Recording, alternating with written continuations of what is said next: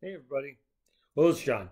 Hey, I got some exciting news. We have a new property coming on the market March 22nd in uh, Box Elder uh, subdivision out in Hudson. Gorgeous, gorgeous home.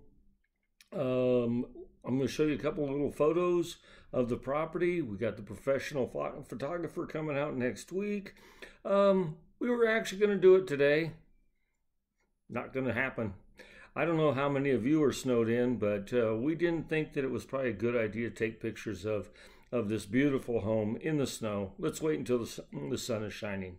So check out the uh, the home, and we hope to see you on March 22nd when it comes on the market.